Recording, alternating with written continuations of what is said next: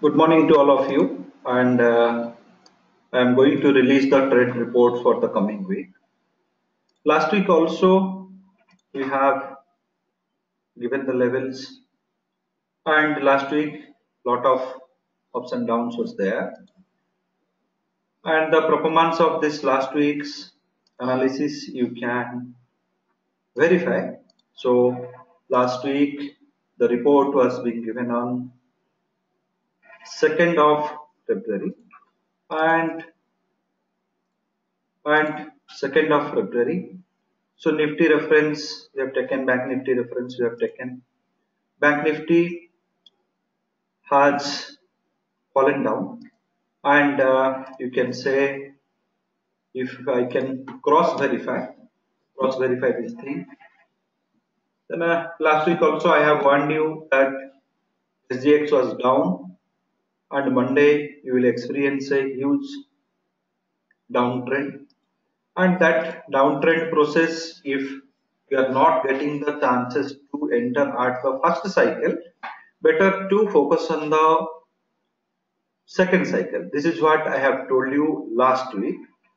And last week data is here. So 5th to 9th so 5th February you have opened 26,095 and sixth you have it has made 25,000 was a big low. And if you just look into the report report what is being generated by 1SD software.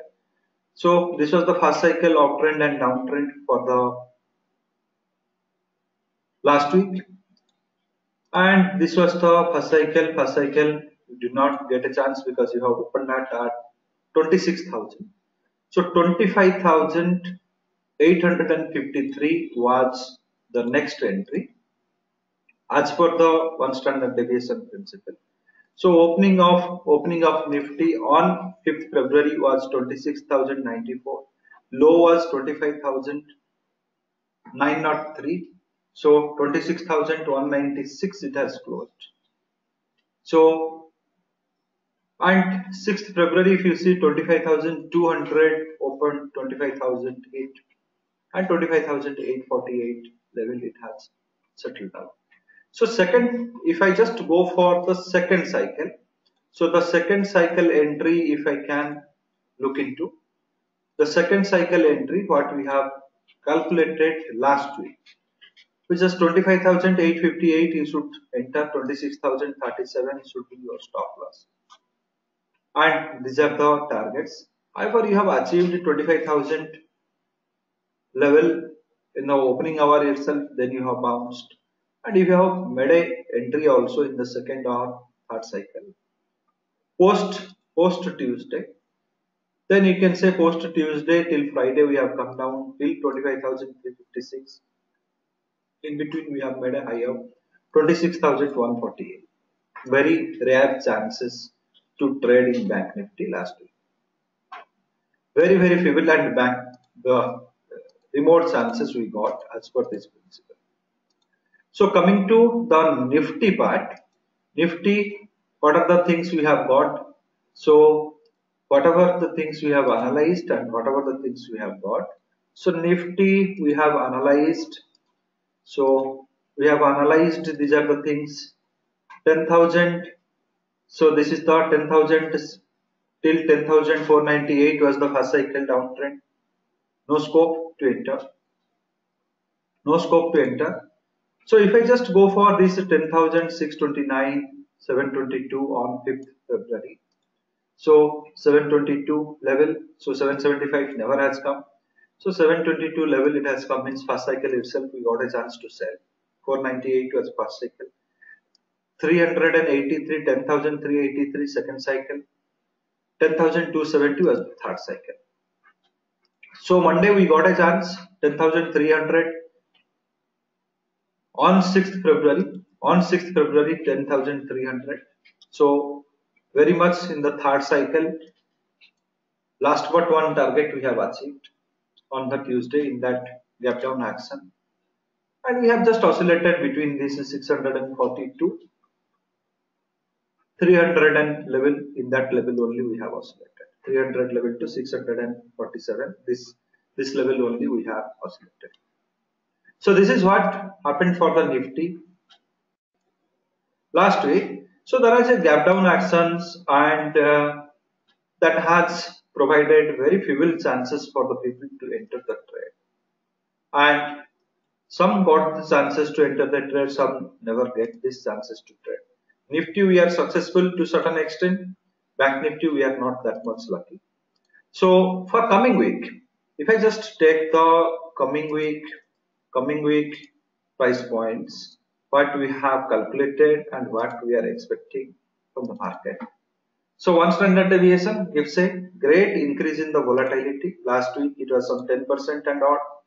If you see 15% and odd real time volatility it is telling 50% increment the volatility. Bank Nifty also same way. So 13 to 16 percent was there, 21 percent near it has come. Great increment in the volatility. Price also corrected. Closed below 10,485. PCR, the put call ratio are below, you can say in the range of 852 0.85 to 0.90. This also suggests that you are in a downtrend. So once the put call ratio improves above 0.9, you can say there will be a uptrend till 1.05 and post 1.05 to 1.16 put call ratio in Nifty. You will be in a consolidation band. So currently it is in a downtrend zone and Nifty has closed at 10,485. Last traded price is with this particular incremented volatility, if I calculate, it is telling me that 10,538 above, you should buy Nifty, keeping a stop loss of 10,399. If you are selling the Nifty at 10,432, you should keep a stop loss of 10,571. So, based on the opening on the Monday, you will decide whether to buy or sell. However, in the 0.5 range, 10,597 to 10,373 level, if it consolidates, then we can have a consolidation market. If it crosses 10,538 range, then you buy the future along with 10,550 put option. 10,550 put option, which is currently at 172 to 173 range you can get it at 140 155 range that time. If it crosses 38 on monday 10538 buy the future along with this put option but one thing you have to remember very carefully the put options are having huge huge time value because of this increment in the volatility so any moment if the volatility falls then you can land in a bigger loss also. So stop loss should be 10,399 and if the stop loss hit that time you can expect this put option to be 270 range. First target 10,624 as per this table 624 second target 10,661 if first target you are achieving move your stop loss to 10,571 if you are achieving the second target, move your stop loss to the 0.5 level. If you are achieving the third target, move your stop loss to the 10,624 level. So this is how you can move your stop loss and continue with the trade. How to trade if the downtrend starts 10,432 level comes. If it falls below 10,432, then you sell along with one 10,450 call option which you can buy at 144 to 128 range. It will be available that time if the downtrend starts. And you need to keep a stop loss of 10,571 and if the stop loss hits the call option can go to 195 range. First target achieves you have to trail your stop loss second target achieve you have to trail the stop loss to 0.5 level so 10,399 309 if it achieves 373 will be a trailing stop loss. If it going to 10286 revise your stop loss to 10300 so go on trailing the stop loss in this manner. However Again, I will tell you because of the incremented volatility, because of this incremented volatility, the time value of the options are very high. If you hedge the future buy along with the option, put option buy, or if you hedge the future sell along with a call option buy, still you are exposed to a bigger amount of risk because of this volatility. If the volatility decays, then in first target or second target, mostly your profit can become negligible. So how to manage that? You can have a some more complexity you have to add to your trade. Suppose if you are buying at 10,538 level and you are hedging it with the 10,550 put option. You know that last target you can get it at 10,847. So think of selling a 10,700 call option which is your third target or think of selling a 10,750 call option or 800 or 850 call option. If you buy a future along with the put option hedge but still think of selling a call option.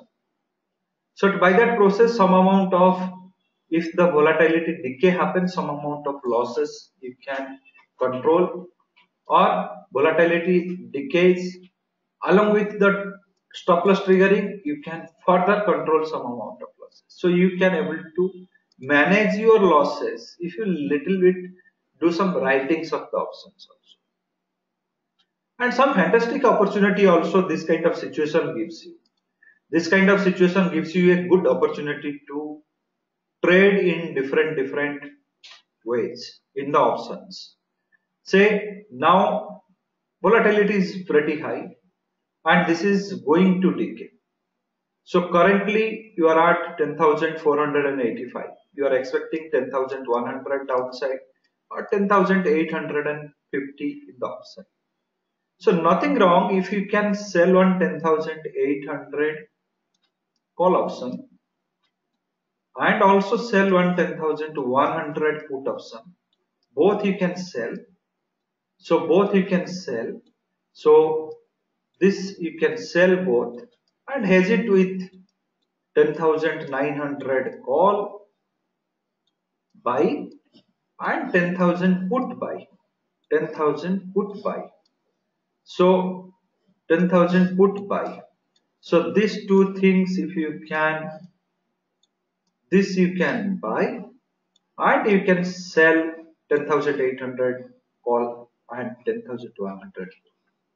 If volatility decays and the price consolidates in this band for one week, you start this hedging on Monday. And by Friday if the price neither move above 10,850 nor move below 12,120 consolidates in this band so definitely the volatility will fall and you will be gaining from this trade. Unfortunately if the price is moving above 10,850 or falling below 10,100 22 try to close this trade very small amount of losses will be there very very few hundreds losses will be there. so this kind of trades also you initiate in this kind of raised volatility scenario when there is a greater probability for the volatility to fall. So you can also form such kind of option strategy now. Bank Nifty also similar kind of option strategy you can form. It is a pretty big volatility 20.79% and Bank Nifty 0.382 level only I suggest you to make an entry 25,811 above if it goes you can buy along with the hedging of 25,800 put. If it fall below 25,250 sell it with 25,300 call option. Same trailing loss mechanism you can use. Same trailing loss mechanism you can use and you can hedge your trade based on the price of your entry. So by this process you can protect your trade and also you can make some good money. So try to follow this particular report for the coming week and give your feedbacks. And if you are viewing this particular video in the YouTube channel, better try to subscribe the channel so that whenever we upload any video you'll be getting the information. You get the subscription subscription button here. So you can subscribe. You can share the video. So whenever you see any video there will be a share button. So try to share the video with your friends. And in case if you have any query associated with this particular level you can contact us in our email IDs send your emails if you wish to get these reports by email register in our site so that whenever we upload any report, you will be informed by email. So by this process, you will be stay connected with us. You can follow us in the Facebook or Twitter. That is also a good medium for us to communicate with you. By this process, you will be connected with us and you will also have the access to our innovations. Any courses and softwares, if you are thinking that S1SD principle works well and wish to get this Android app or software. Try to purchase it from our website. Any query on the product, you can call in these numbers. Sales numbers are given on the top. So we'll help you to identify the correct product for your trading need. Follow this report for this week and give your feedback either by email or in the Facebook or Twitter or in the YouTube comments. Thank you very much.